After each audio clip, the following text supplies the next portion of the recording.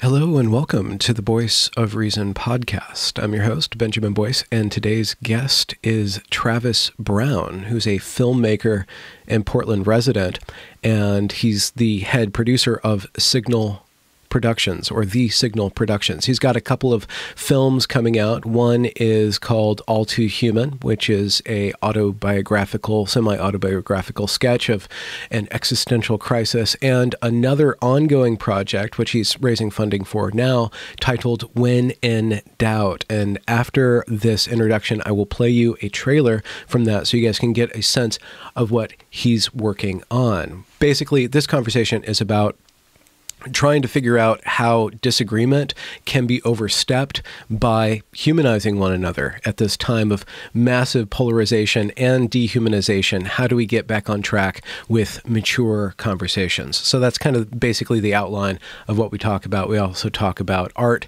and the process and the practice of living a good life. So without further ado, here is a trailer and then a conversation with Travis Brown. A missed opportunity for dialogue is a missed opportunity for conflict resolution. And when two enemies are talking, they're not fighting, they're talking. It's when the conversation ceases that the ground becomes fertile for violence. So you want to keep the conversation going.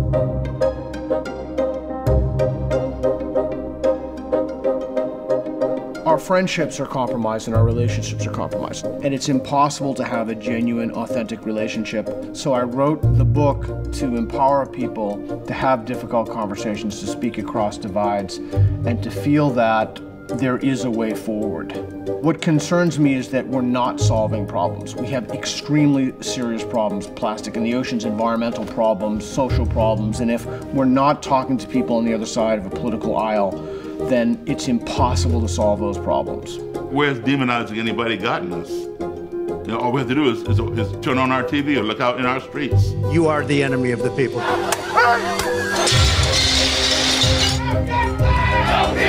We need to come together because we have a shared history. It's important that we know each other's history. And when you get to know somebody, it's very hard to hate them. So it's time that we get to know one another.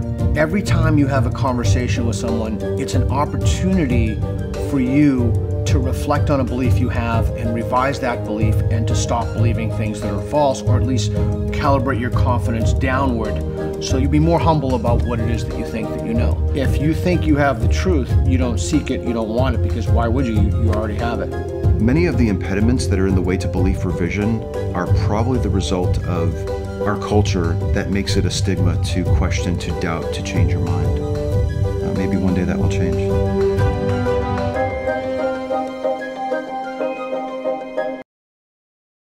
Can I ask you about All Too Human? Because that sounds rather Nietzschean.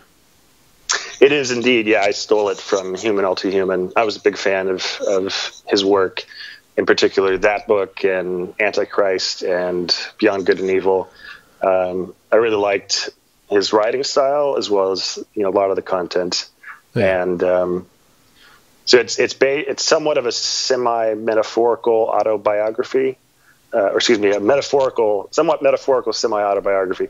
Uh, it's about a guy who has decided that his life's no longer worth living. He's extremely depressed, and he tries to sort of cut himself off from his loved ones and kill himself, but he fails and he just hurts himself. And then he keeps trying and he keeps failing, and that allows for various existential conversations around meaning and purpose and okay. all of the things that you know keep us keep us going in hard times. It's it's a very very dark comedy. It's a black comedy, uh, more more dark than comedy. How did you work those uh, conversations in? Was that through uh, monologue or uh, voiceover? Um, no, it was through. Uh, it was through.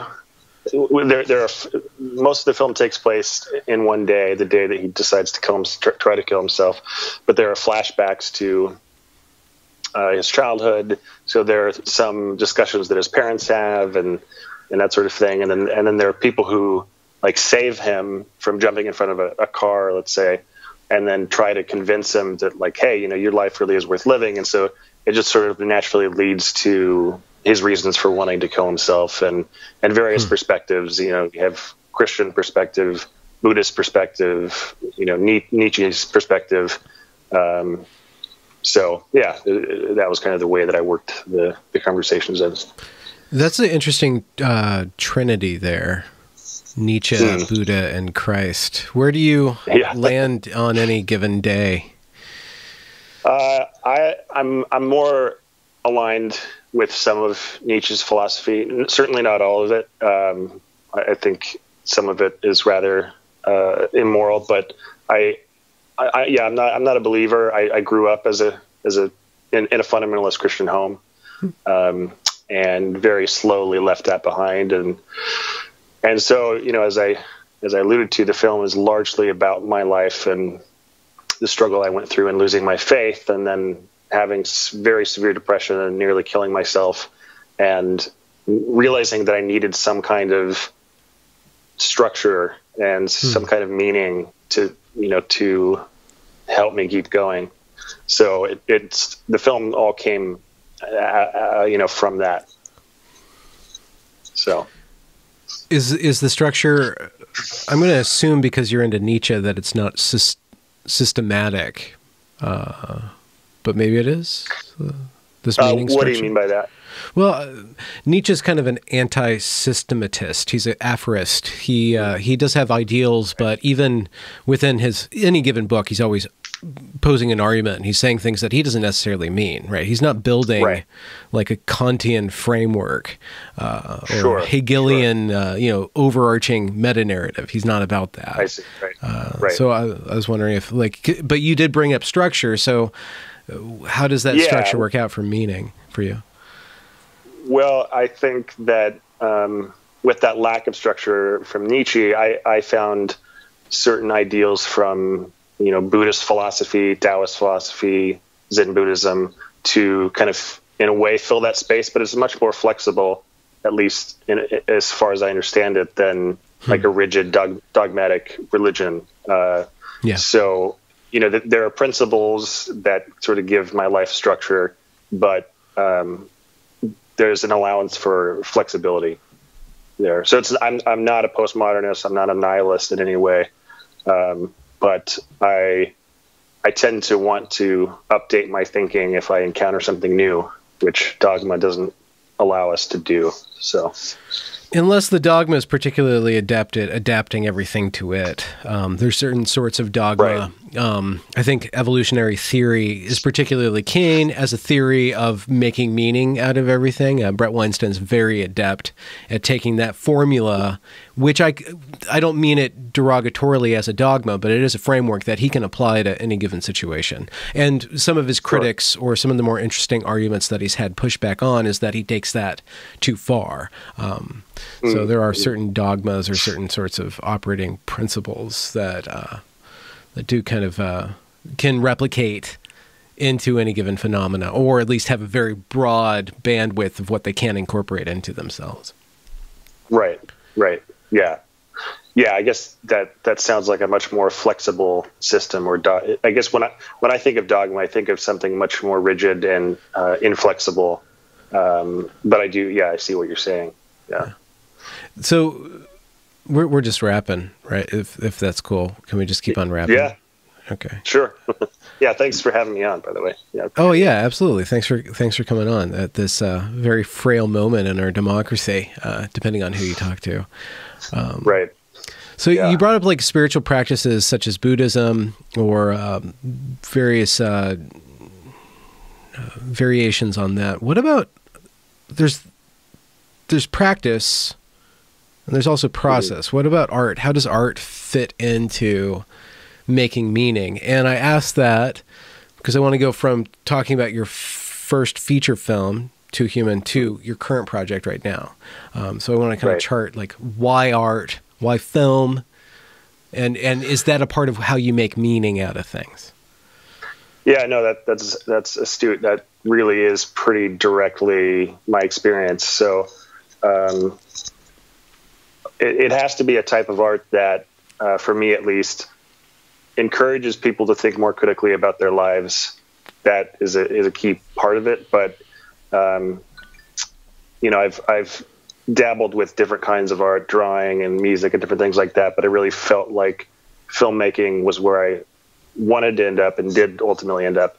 Um, because it to me seems like the best medium to really you know it hits all the senses right? Mm. pretty much other than touch. And, yeah, it, it, really can right. So lick the film.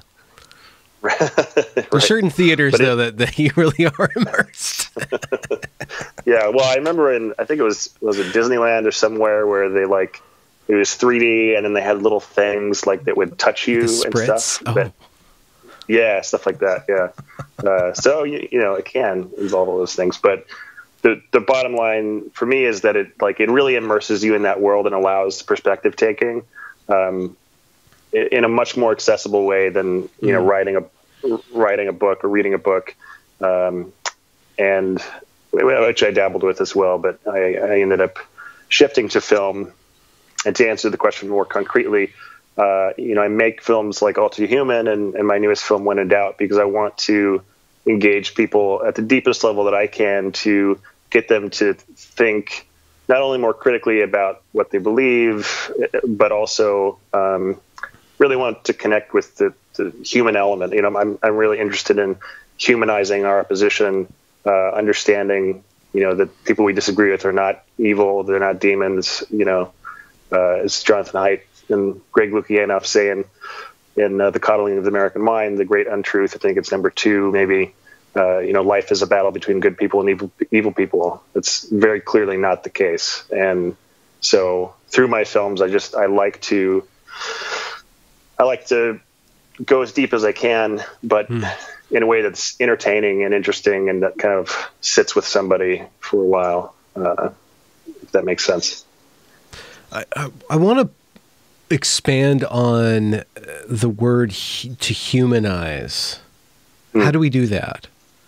And I think that that might be a very key element to all too human, at least in, in name, and then this new, new product could, uh, project. Could you tell the name of the new project? It's slipping my mind right. Yeah, the, the new project is When in Doubt, and the subtitle is uh, you know the the uh, oh shit, I'm blanking on it, but it's something to the effect of uh, the the importance of difficult conversations and the benefits of doubt. Right, um, and so to humanize, I think means to just recognize the human that is the humanness that is in people that we disagree with, uh, whether that's just a, a, political opponent or the other side or hmm. really anyone that we have a reflexive dislike or distaste towards. Um, you know, it's interesting. It's a little bit of a tangent, but it's something I've been thinking about lately. I've never really had any kind of visceral reaction to any political um, candidate uh, even I'm not a fan of Trump, and I really dislike him, but I don't have a visceral response. But the the candidate who just lost uh, the the mayorship of, of Portland, Sarah Iannarone. Oh, okay, Ted very, Wheeler didn't. Ted Ted Wheeler didn't. Ted Wheeler won. Okay. He won. Yeah, but but Sarah. Um, man, I had just a really visceral response every time I looked at her, every time I heard her speak. yeah. um, and so I was noticing this in myself that man, I'm I'm falling into this same kind of trap where like, um, you know, she calls herself the Antifa candidate. There are all these things that I have major problems with her thinking, and I started to dehumanize her a little bit in my own mind, not on purpose, um, but just as a result of hmm. our differences of belief.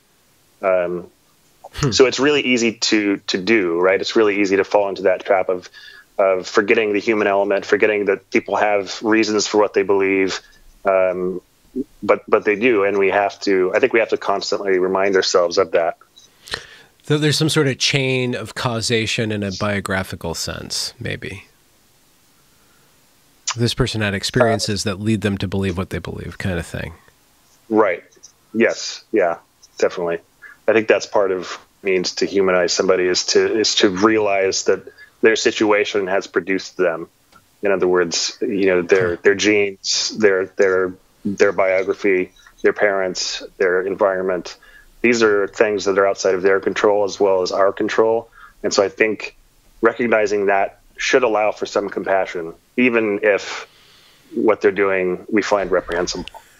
like uh, what was she doing? She was like pro Antifa. What was she gonna do? Just like when I get in, when I get in charge, we're burning the fucking federal building down. Like, what was she gonna do? I, right. I mean, honestly, I don't know. I think there was a there was a big element of of the unknown and of fear, but. I mean, she she said things like, um, you know, I don't know that peaceful protests are moving us forward. She was at like dozens of the protests. She wanted to cut the police budget by fifty million dollars she made up this PhD that she didn't have. Uh, there were just a number of things that I found really rather repulsive. Huh. so yeah, yeah, I, I, can. So my major filmmaking, and I, I, totally fell into being a filmmaker. I, I just wanted to write and be left alone, but um, that that's mm. not what the great fate had for me. Sorry, I have to throw my cat around because I have a new setup here. Um, but I, I, I did this documentary on Evergreen. I've I, I need to do about an hour more of it to wrap everything up. But uh, you, are aware of the Evergreen situation, Evergreen State yes. College. Bret yep. Weinstein, yep. Heather Heying. You're a fr- friend of Peter Boghossian too, so you probably yeah, and Mike Mike Nayna as well. And Mike, okay, you know Mike, yeah, yeah, yeah. and probably James and and and and uh, right Helen to a certain. I don't know James and Helen as as well, yeah, but yeah. Uh, so there are certain characters in this uh, in this story, and it's all on tape. It's all live filmed, right? It's live streamed, and you, you have these characters that act acting absolutely repulsively. Um, and some of them are young or younger. Some of them are in their early 20s, mid 20s, and they're totally acting just like you don't act that way. So it's really easy for a stranger to the situation to have very negative reaction to that behavior. So it's kind of an interesting challenge. And in the official documentary, I tried to point out don't look, don't judge the individuals, judge the behavior because the behavior comes from these ideas.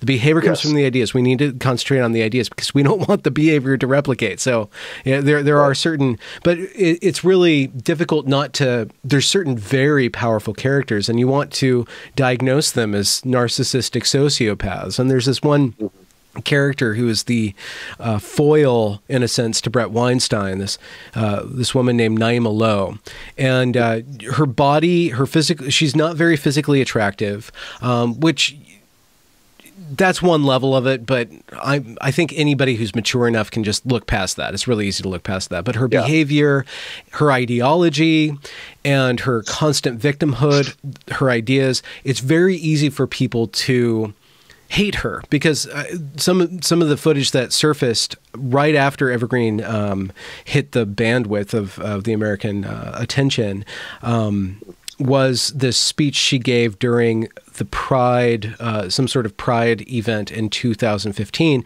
where she accused everybody in the audience of being a white supremacist, right? Or that, that there's white supremacists breathing in you now, and you know, like this total power play, yeah. which is really easy to say we hate that. We need to stamp that out. If every if if all black people think that every disparity is based on white supremacy we are totally screwed as a country. This is totally regressive ideology.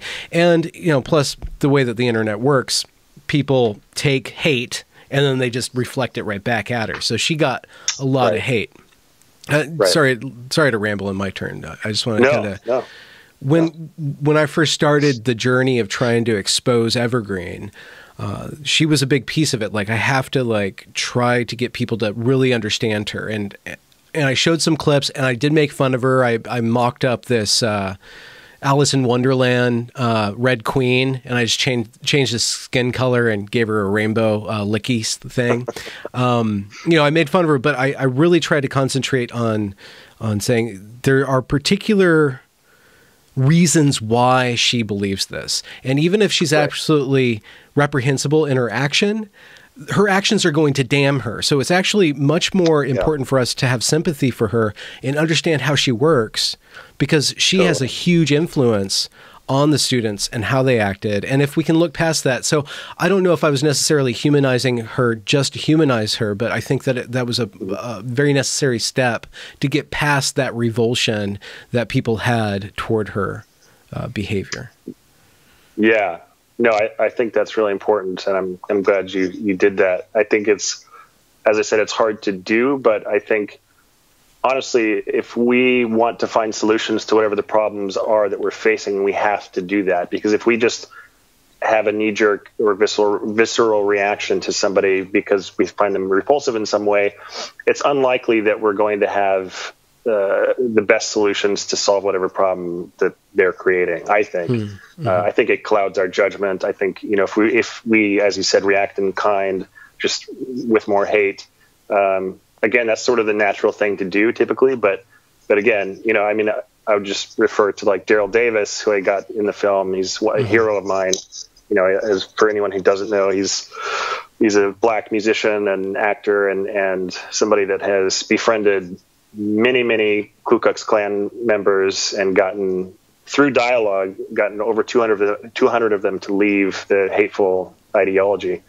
And so I think that's a perfect example where he was able through conversation, through asking questions, to uh, find a way to get to the human element that was in, you know, within them. And um, just and as a result of doing that, they all, you know, many of them just left. Um, so so again, he, you know, he even though that's not a solution for the Klan in general, he at least mm. was able to resolve a lot um, just through talking and just through helping them realize the humanness in himself that he wasn't to be hated just because of the color of his skin. Yeah. Uh, yeah. And so that really captures what I'm trying to do with When in Doubt, which is to encourage encourage those conversations that we avoid with the people that we avoid in order to one strengthen our relationships and two find solutions that we would otherwise not find. Uh, mm-hmm. So yeah. Do you, okay, this is really dicey. You can totally uh, deflect this question, but I'm just trying to run through s- scenarios of a Biden win and a Trump loss, and the loss of Trump mm. as a leader.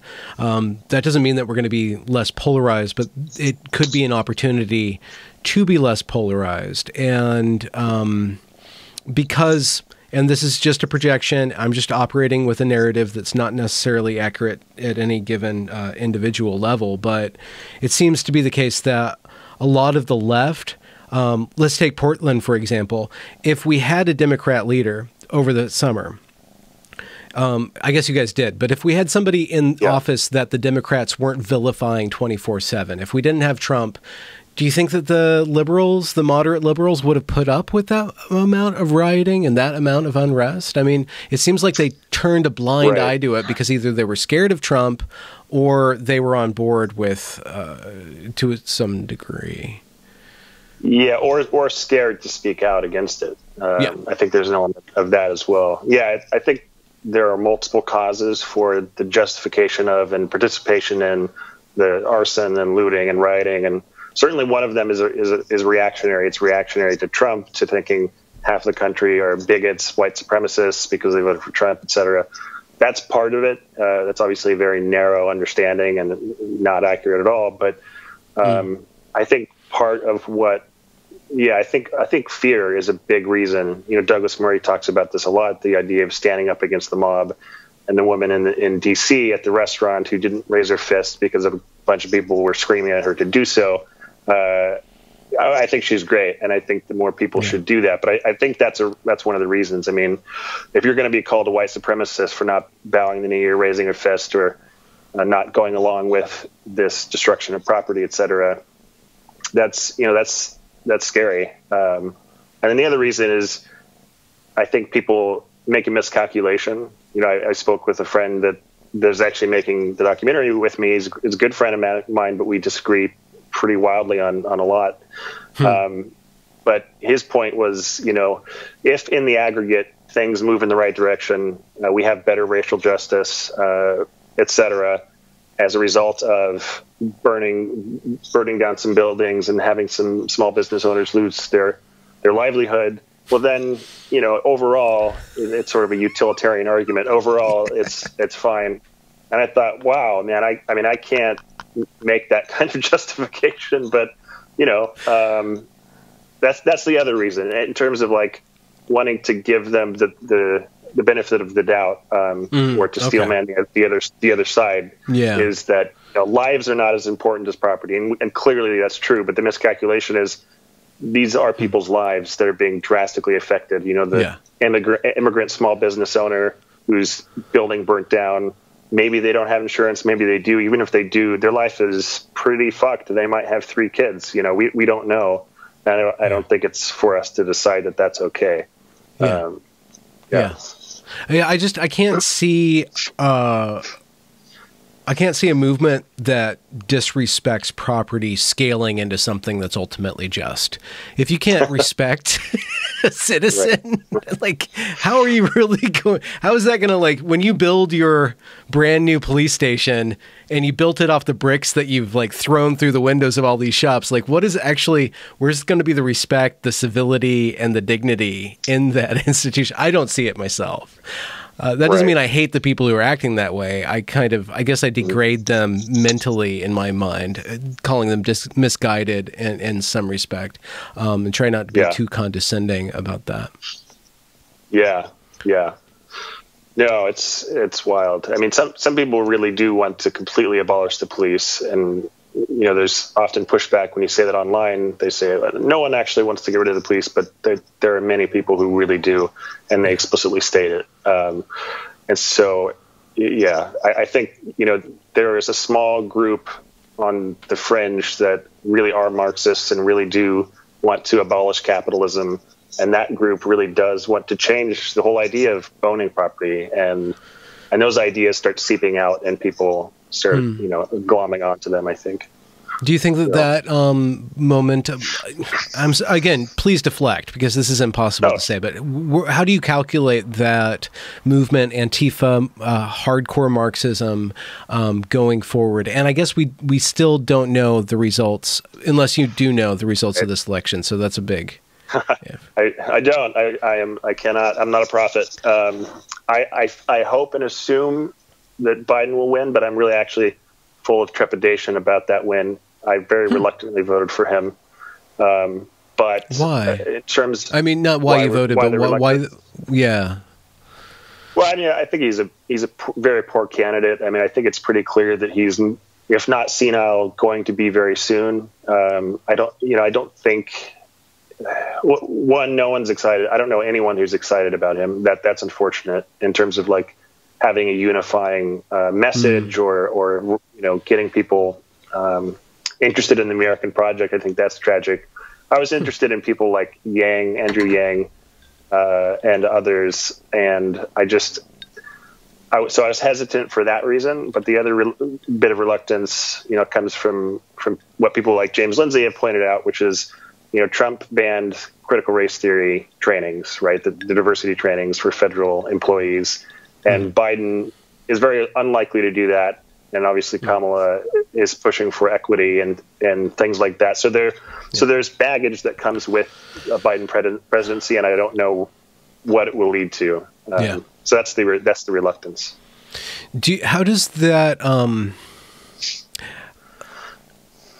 so when in doubt could you could you could you outline like what were you, what were you trying to do some of the structure what are you Yeah. trying to do with it what is it about what yeah what are the themes Sure. the way that you're getting those themes across Yeah, so we've we filmed some of it, but we still have a, a lot more to go, um, which is why we're, we're doing a crowdfunding campaign at the moment. Um, but our goal will be to find probably two or three pairs of subjects, people who were struggling with a relationship, who already know each other, and maybe are avoiding a conversation. You know, one voted for Trump, one voted for Biden, one's an atheist, one's a Christian. Whatever the differences Okay. are, Okay. it can be religious or political. As long as there's an ideological difference, what we want to do is um, set up a series of conversations for them and have Peter Boghossian coach them individually and together to improve that conversation and hopefully the relationship. So we'll we'll Okay. track you know two or three pairs of subjects and get to know them and get to know why they think the way they do. So ultimately through that process we're kind of we're humanizing both sides just through the film and then and then they get a chance to express their views and hopefully learn some techniques um, that will improve conversations uh, with that person and with other people. And so the goal is to show uh, some, two two main goals of mine are to, sh- to to give people concrete techniques to improve their conversations, okay yeah uh, so they can strengthen their relationships and know how to, to talk to people they disagree with. And then the other one is to do a deeper dive on on why people think the way they do, why we have the moral intuitions that we do, ultimately to humanize each each side uh, of, of the argument. So J- Jonathan Haidt's book, The Righteous Mind, uh, was largely uh, inspirational, and I, and I, initially wanted to base the film around that, but it was a little too complex to come up with like a concrete way to make that into a film. But yeah, I still hope yeah. to have him in the film to help us understand um, at, at a psychological level why these differences crop up in the first place. So you you guys said you're crowdfunding, like a GoFundMe yes. or uh, yeah, GoFundMe, Starter. Yeah. I, I forget that other one. That oh, yeah, there's Kickstarter, Indiegogo. Kickstarter. There's a few of them. Yeah. Is there like a tier that people, if you get enough funding, we're going to have car chases, and then people have counseling afterwards? car chases? Oh, yeah, that'd be fun. Uh, I mean, hey, if we get like a million bucks. Okay. Know, I, am just trying to put that out there because that might get people really interested. You know, like you're driving around in a Tesla, cops are chasing you, Peter Boghossian's right behind you, telling you how to talk to your best friend. You haven't seen or how to talk to the police. Yeah, yeah or how to talk to the police. That will be fun. But no, we didn't. I didn't factor that in. how do you um? So that, that's a big project. How how do you see that, or what was the inspiration for that? Why? Why do you think that's necessary? And I do have to plug, uh, since you brought it up, Peter Boghossian and James Lindsay. They wrote a book, How to Have Impossible Conversations. So it seems like you'll be drawing on yes. that, right? Yeah, we'll be drawing heavily on that. Um, so initially, like I said, the Righteous Mind was really uh, motivational for me, but but before that, it was really the election of Trump.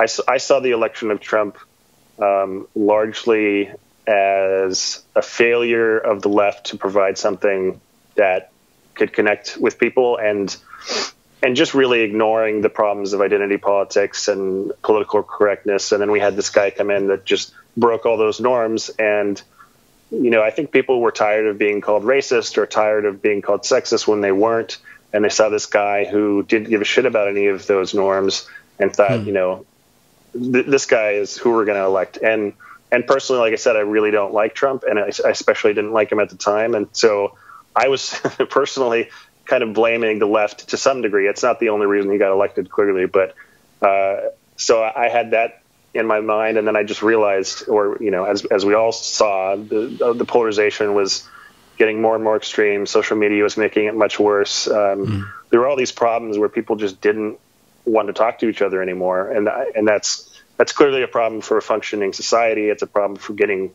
to truth. Um, so both Matt Limbo and I had the, the idea at the same time in early 2017. We thought, you know, we should figure out a way to document this and to offer solutions. And um, mm. so I shared with him the book, The Righteous Mind, and we he, he really liked it. But then my, my that's when my back went out really badly, and so I just kind of put everything on hold. And um, eventually I, I realized that I wasn't really finding any solutions to, to my back pain, hmm. and I wanted to make this film somehow. Uh, and then I had become friends with Pete, and I filmed him for the New York Times um, for his book, How to Have Impossible Conversations, he and James's mm. book. And the, and I read it and I gave it to Matt, and I was, you know, we both thought like this is a great foundation for our film. We can really offer practical tools to help people.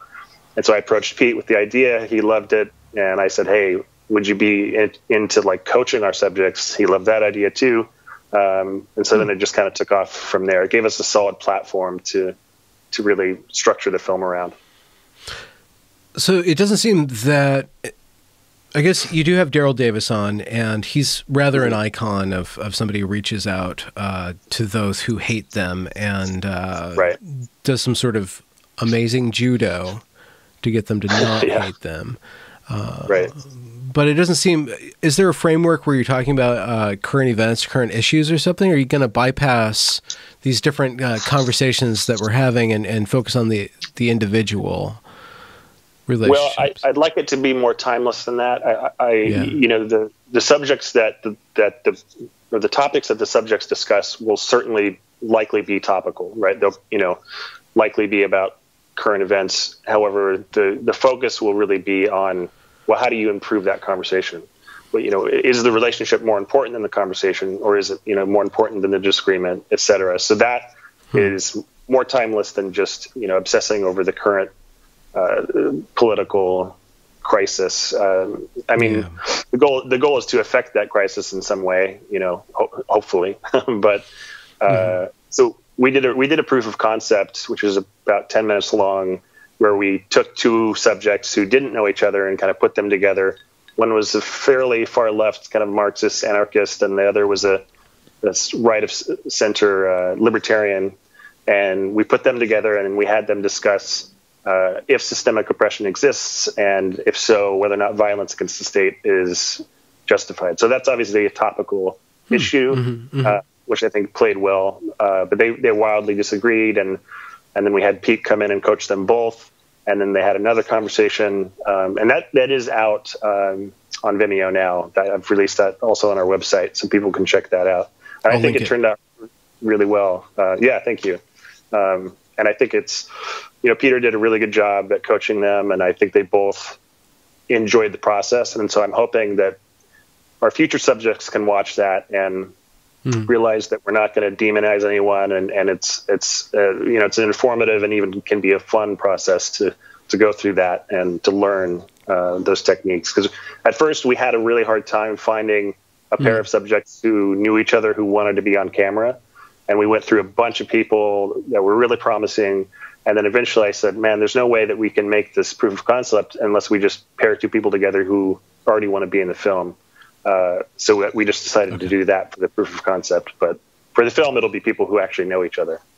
That's the goal. Is the goal to agree to disagree or to dissolve disagreement or to examine why disagreement is scaling up into this impossible uh, relationship problems like i think more the latter I, I, mean I, you know i think my hope is to coming back to the humanization part is to help each side understand why the other side thinks the way they do and you know per- perhaps through that come to some kind of agreement or compromise. I, I, I, don't. I'm not setting anything in stone in terms of like what okay. I want the outcome to be, other than hopefully an improvement of understanding of one another, as well as okay. an interesting exchange. Okay. Yeah. Oh. Okay. Yeah. That's cool. The way that um, I've been toying with this idea, I'm gonna. Uh, I'm trying. I, I won't. I promise not to ramble, but I've been toying with the idea about disagreement and how uh, certain forms of uh, media, social media, specifically have evolved into these echo chambers, right? There's these echo chambers, these people who agree. Echo chambers, some some place where everybody agrees and then reinforce reinforces what they already believe, uh, and then you have these skirmishes, or you completely avoid uh, those who you disagree with, and there's different unfortunate rhetorical tricks uh, that on the level of social media where we're all strangers and we're making very tenuous friendships um, that we eventually become familiar with people but we have to agree before we can become familiar with people um, we have to be exposed yeah. to them long enough and so we have to stomach them long enough especially in the, i'm thinking of twitter and the way that relationships form yeah. on twitter and part of my work has been my side gig within my channel is to float around on Twitter and find an interesting voice and then launch out of Twitter into this format, which isn't real, but is much more in depth uh, than yeah. Twitter. Uh, so it, it's interesting. Um, one of the questions that I guess I have, and maybe you can help me with this, is how do we how do we pivot out of the moment where so much uh, currency is afforded to merely what we agree or disagree with, what we believe or don't believe in. That, that for, for, that to be the defining mode of us making connections will not sustain us. I think that will fracture us. Right. We're, we're, witnessing the, the outcome of that. So, how do totally. we deal with that? Yeah, I mean, I, I think it's it's a multifaceted problem and it, re- it requires a multifaceted solution. And I think what I'm at least t- attempting to do is is hopefully one part of that, which is to get people off of those platforms and having real conversations in real time.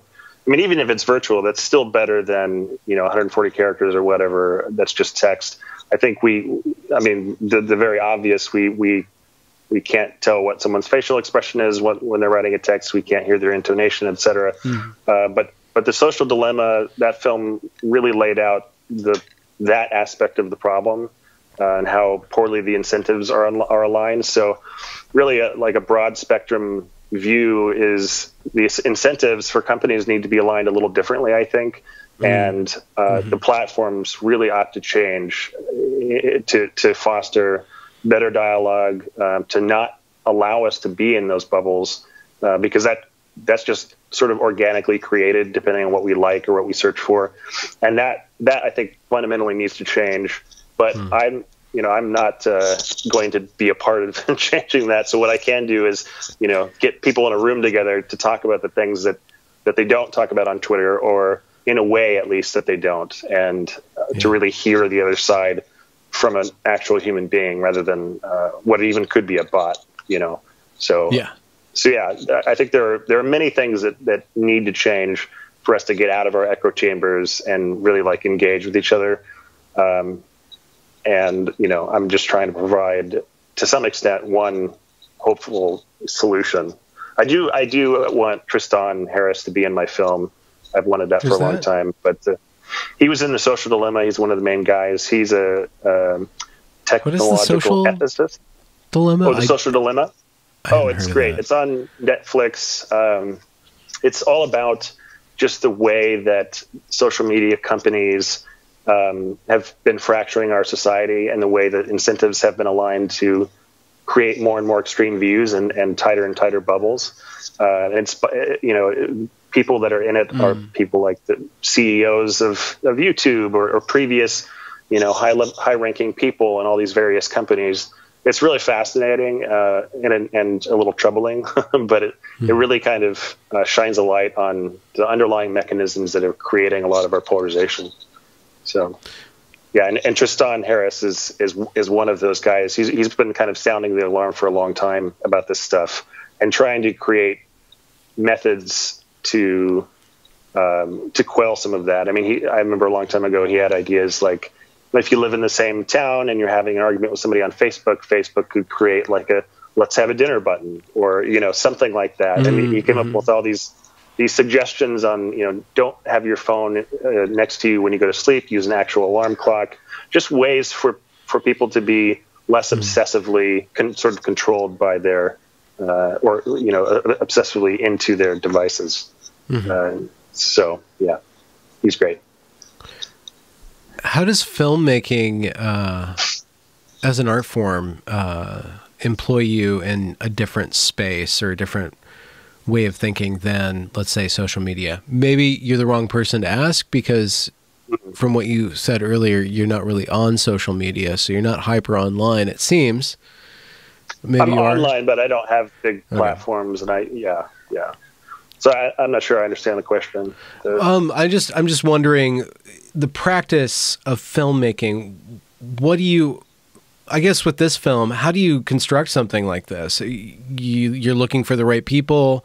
Um, I, am wondering if we can pivot into craft, but maybe we can't. That's kind of a difficult thing. But maybe you have some juicy tidbit behind the scenes, like how are you sculpting this thing?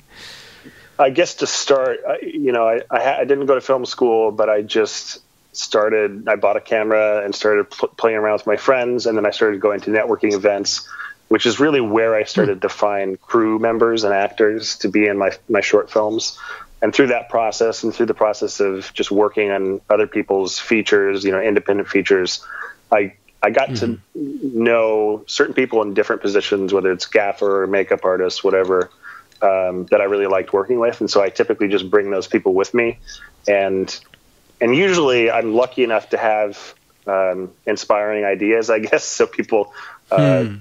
Are willing to kind of like go out on a limb and do something for very little money because they like the project. Uh, okay.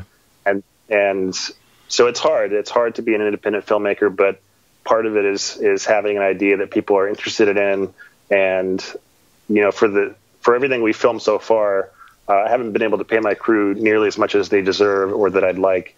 And so hopefully with our campaign, we can raise enough to, to pay them decent wages. But um, so that's one aspect of it, I suppose. And then in terms of actually finding people to be in the film, I mean, Pete has been instrumental in that in terms of um, you know connecting with me with certain people to be the talking heads, and uh, and then we just put out a call for submissions. Uh, I had like a Google form where people could hmm. sign up to be in the film, and we had something like close to seventy people reply, and then you kind of weed through those. Then Matt and I meet them like this virtually, and then we um, just kind of whittle it down and and uh, choose our subjects that way. So through Craigslist, Facebook, Twitter, all those hmm. you know all those arenas. I uh, I was listening to an interview that you did uh, earlier today. I can't remember the guy's name. I need to have a step oh, Will, secretary. Will Roosh. Yeah, yeah, yeah. yeah. Sounds He's right. Great. Yeah, yeah. And it turns out you were at. Was he at the Damore event? But you were at the Damore event. This is. I in, filmed it. Yeah. That's all wait, my footage. Actually. You, you, oh, the stuff that ends up in Mike's. Uh, wait, where does that? So, well, he, he was there too. Yeah. Yeah. Yeah. He we shared footage. So he he shot part of it, and then I had like three cameras as well. Uh, and so like the one clip that went viral that has the girl like yanking the speaker cords out. That was a combination of like my footage, his footage, maybe Tim Pool even like just yeah, various. there too. Andy, no, yeah. Um, so yeah, but I was hired by Andy to film that event. Oh, okay. Yeah, whatever that was, 2016. Yeah, yeah, I was there too with my friends. Uh, oh, okay. Like, so nice. it's really interesting. There was a lot of people there uh, at that yeah. particular moment. I don't think uh, James was there, but I know Peter was there, and Helen was there too. I, I was able to at least shake her hand. Um, nice. Have James you been? Was there. He was in the audience. Oh, he was there. Okay. Yeah, yeah. Uh, I missed my chance to meet him in person, but I guess we have an online friendship of sorts. So uh, nice. I guess that, that's yeah. just gonna have to be uh, keep it there for the time being. Have you interacted with that kind of stuff?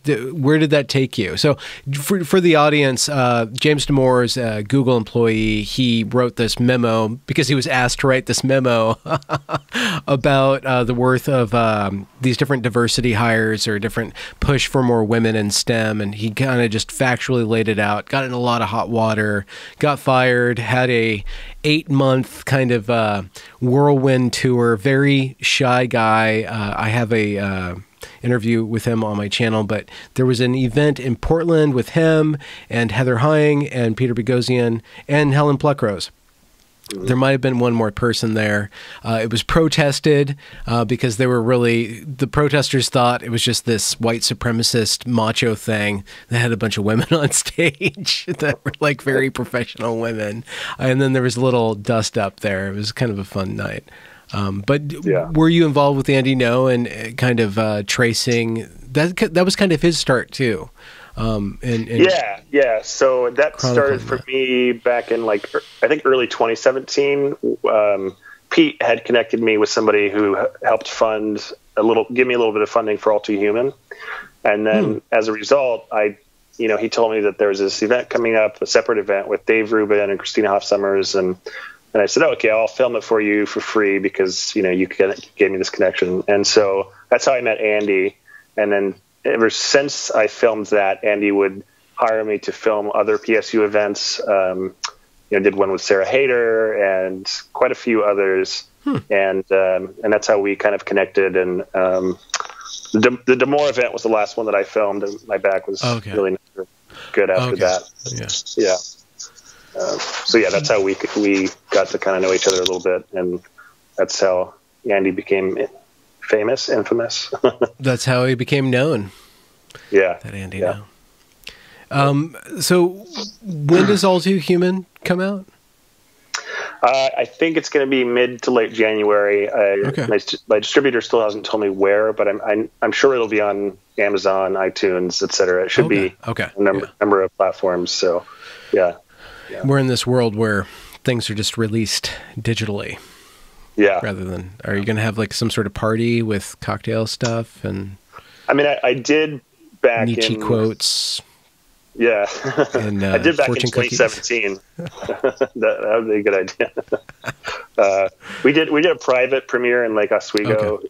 near, near, Portland. Um, oh, I, so it's I'd been produced and kind of shelved for a while. Yeah, yeah. Oh, I mean, uh, my whole life kind of got put on hold for like two okay. years because of this back yeah. problem. Yeah. So yeah, hmm. yeah, yeah. it, it was finished in 2017, so it's been a while. At the very beginning of our conversation, you said something I wanted to ask. You used the past tense with uh, liking Nietzsche or, or, Nietzsche. You said that you, it, it seemed like you were over him. That's kind of a process a lot oh. of people do go through. They they go through a Nietzsche mm. phase. Not a lot of people, but the people who do. Then they get over him, yeah. maybe come back later. Are you where are you at and why? What was your path through Nietzschean discourse or his thought process? Yeah, well, I mean, I, I came across it when I was sort of really questioning and, and starting to leave behind my Christian faith, and it just kind of it, it felt very nice to find somebody who had articulated a lot of the thoughts I had. Um, so that was kind of the start. And then I read most of his books and was really inspired by some of it. Um, you know, as I said, there's there's some things that I disagreed with, obviously, but uh, you know, I, I wouldn't say that I dislike his philosophy now. I think I just I moved to more contemporary thinkers, you know, like Steven Pinker, you know, these these ty- these people that focus on our current sort of current problems and are are less perhaps less heady um, and more practical. I think I think mm-hmm. the problem I had with with some philosophy is that it that it exists in philosophy departments and philosophical discussions, but it doesn't affect the real world. And I really don't like that kind of philosophy. Mm-hmm. Uh, it, it, can be fun to play with, but um, for it to really be useful, I think it has to be impactful and useful in your life. Um, so I guess maybe that's my reason for um, not not reading it much anymore. It's been it's been well I don't know probably five six years before I, or since I've read a, a book by him, but I still have all his books. I'm sure I'll make my way back through them at, uh, uh, you know at another time. So, is there a lingering thought from his that pops up? I mean, uh, maybe it's just buried in your operating system at this point, but is there something that you yeah, I mean, for All Too Human especially, I was inspired by his rethinking of of, of value structures. Um, mm. You know, he he was going to write a four part series called The Revaluation of All Values before he mm. lost his mind, and um, and the first one was Antichrist, which I really loved. It's a very short book, but I I really gravitated toward that idea and kind of incorporated that in All Too Human. There's three parts in All Too Human and the last part is titled The Revaluation of All Values. The idea of letting go what you've been taught, what you've been told, the typical value structures that you grew up with, and, and thinking about it as much as a human being can uh, for oneself. And mm-hmm. Um, mm-hmm. and so I, I that stuff still sticks with me, and it's one of the reasons I'm I'm not a big fan of some of like Jordan Peterson's work um, because I think it's it's contrary to that. I I uh, I like in that. Way? Well, uh, in the way that he he t- tends to say that we sort of all need religion and we all believe in God in, in one way or another, and I don't I don't buy it. Um, hmm. I think mm-hmm. I think I think some people uh, religion is very useful for, but I, I, don't think that it's it's a requirement to live a meaningful or, or fulfilled life. And I think I took some of that from Nietzsche's work. Okay. Yeah. Uh, and, and, that's that's very complicated, and I, and I, know that may sound a little glib, but um, no. and I'm sure maybe like Bret Weinstein would, would disagree with me there. but you know, I, no, he's uh, he's pretty atheist. I I just my yeah. my question right now. Uh, I, I understand there are people who can move through the world without that value structure there, but I, I don't know if groups or societies can function without that. So that, that's the question. And Portland is well, Evergreen was the small test. Portland's the next right. upgrade. like, what do you have when a when you have a bunch of believers with no really right. positive value structure roaming the streets, other than white silence totally. is violence? You know, these completely decimatory deconstructionist right. values. No, I, I do actually agree with that. I, I, I think on an individual level, people's beliefs can vary, but I and I and I you know Douglas Murray has talked about this, and I interviewed him about it a little bit too. But mm. um, something that that unifies us and that is like we do need to have goal oriented value structures, and mm-hmm. they should be positive. I think my qualm is just the the, the supernatural claims and the otherwise negative um, dogmas that come with certain religions. Um, that's that's what I have a problem with. And mm-hmm, mm-hmm. you know, Christopher Hitchens talked about this a lot, which is the idea of um, kind of excavating the positive aspects of religion and making them secular. And I don't know how you do that. I don't know. If, you know, I don't.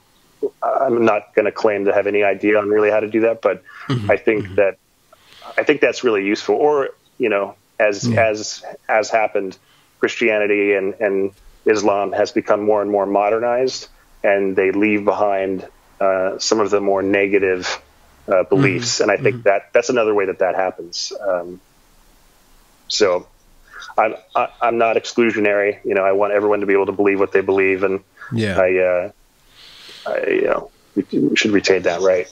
But I I think that um, one point of my one viewpoint that I hold to is just like it at Evergreen, what's happening in the streets of Portland is this you know concrescence of youth, uh, mostly youth. Uh, there's every once in a while a middle-aged person with a gun going around uh, assassinating people, but aside from that, um, there, it's mostly it's mostly just uh, people trying to grow out of these progressive values. It's a revaluation of the values yeah. that they're taught, and and so the question is not just to create a new religion or to excavate the positives from old religion and somehow pass them on. And you need stories for that. That's where I kind of sure. agree with Jordan Peterson, maybe not literally, but metaphorically in his use of metaphor. Um, you need these devices that really connect to us, and story is the most powerful thing that we have uh, that to totally. transmit that kind of full embodied.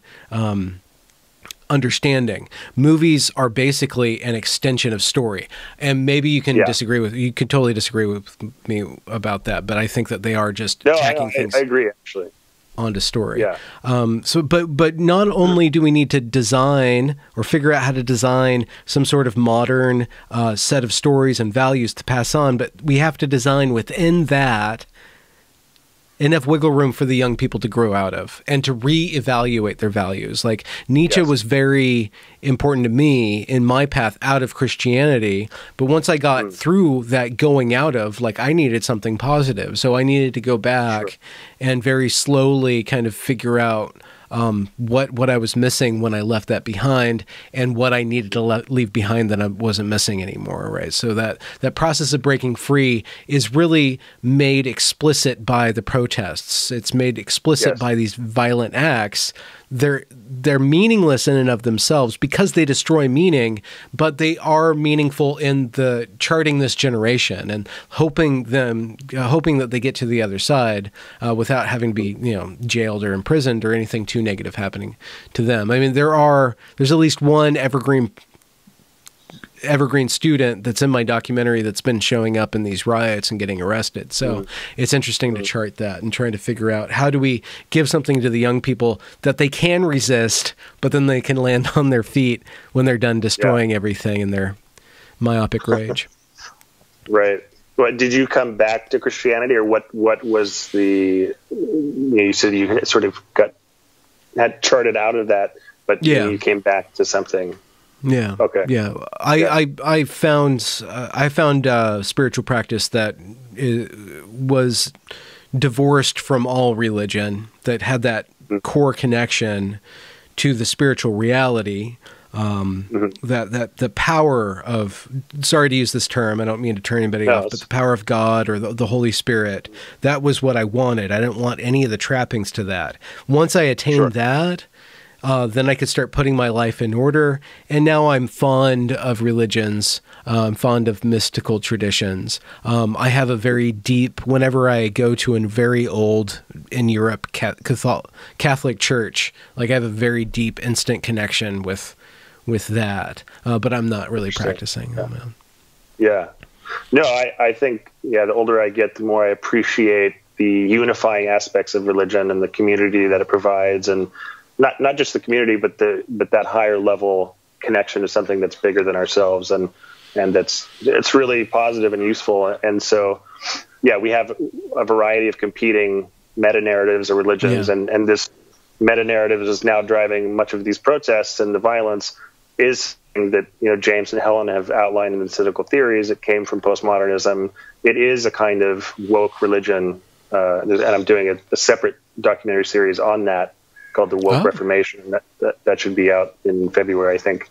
Wow. So uh, that's another thing I'm doing. I'm, I'm trying to kill myself by doing two documentaries at the same time. But uh, could you outline that the woke Reformation? That sounds fascinating. Yeah, the woke Reformation. So yeah, I was really inspired by cynical theories. James and James Lindsay and Helen Pluckrose, this most recent book. Excellent book. Douglas excellent Murray's book. The Madness of Crowds. Yeah, that's good. Really, too. really good. Um, and I got connected through Peter to a few people who wanted to be in it. You know, so I have Douglas Murray in it. I got Nancy Rommelmann, who's been reporting on the, the protests and stuff here. Uh, okay. She was great. But the, the basic idea is that there is something uh, like a new religion that is based on woke social justice activism, not actual social justice, but the sort of woke version that has come from the universities and ultimately from postmodernism. So the series hopefully will clearly outline for every, everyday people, will outline the roots of this stuff um, I'm speaking with Helen tomorrow about doing some narration, which will be really fun. Excellent. Um, and so it'll outline the roots, uh, explain how it sort of morphed into what it has morphed into, and how it got everywhere. You know, uh, especially in the wake of George Floyd. Uh, and then mm. it will be kind of a call to action, like what can everyday people do to push back against this stuff? And I really want to highlight the importance of, for instance, if you're against sexism, if you're against racism, if you're against homophobia, don't go along with this woke nonsense because it doesn't actually achieve the goals that it claims, and it's mm-hmm. divisive, it's harmful. Um, this isn't this isn't the, the path forward. So it's a bit of that. Yeah, it's tricky to explain to people why anti-racism is not a good idea. Not tell the, me about the, it. The, That's my life story. yeah, there you go. You, you know exactly what I mean. But it's hard. Yeah. So Wow, that's the goal. and that, you said that that's going to be a series. It's going to be like a uh, like twenty minute. Uh... Short, no, shorter. It'll be really like bite size, probably like five to ten okay. minute pieces. Um, and again, I'm hoping to nice. make it as digestible and and uh, you know uh, easily accessible as possible, so that everyday people can really grasp what the hell is going on. And car chases, how many are you planning on? oh man, I'll do I'll do some animated car chases. Just just at least one. I just want one, but I'm yeah. not gonna tell you what to do. I'm just like I want the the fast and like the furious, but like the reasonable version of that. You know, I don't know. Where they go really slow. well, fast all around, but like inside on the inside of their car, it's very reasonable. Hmm. Mm, yes, lots of padding. well, cool. So, um, we'll direct people to your when in doubt fundraiser um, and i will uh, i guess a viewer will have already seen the clip that i put in at the beginning of this interview.